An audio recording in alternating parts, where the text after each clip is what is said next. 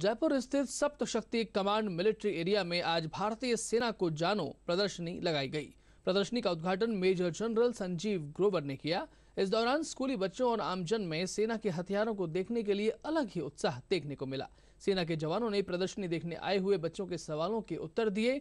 major general ने भी उम्मीद जताई कि सेना को जानो अभियान के तहत लगाई गई यह प्रदर्शनी आमजन के लिए बेहतर लाभकारी